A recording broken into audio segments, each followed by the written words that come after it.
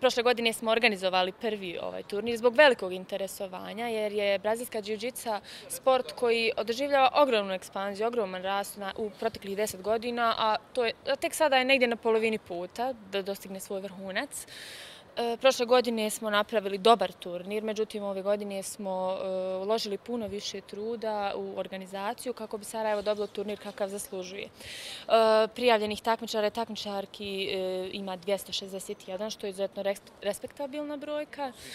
Za ovo, za naš region, to je drugi po redu, po veličini turnir ikad organizovan. Dakle, mislim da je najveći imao oko 300 učesnika.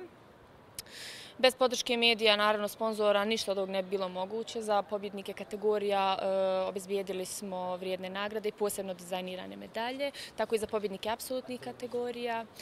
E, nadamo se da ćemo ovaj, ovaj turnir uvrstiti u kalendar sportskih događanja grada Sarajeva i da će ovo postati tradicionalno dešavanje.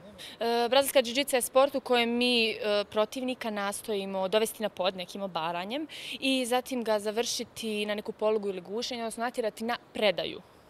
Nema udaranja, što je česta zabuna, ljudi to miješaju sa, ne znam, neki, sa tradicionalnom japanskom džiđicom u kojoj ima element karata iz kojeg se zapravo borba započinje. Eto, to je osnovna razlika. I još e, borbe se radi u kimonu i bez kimona, dakle nešto kao hrvanje, nešto poput čuda, najsličnije, ali opet ima tu dosta razlika.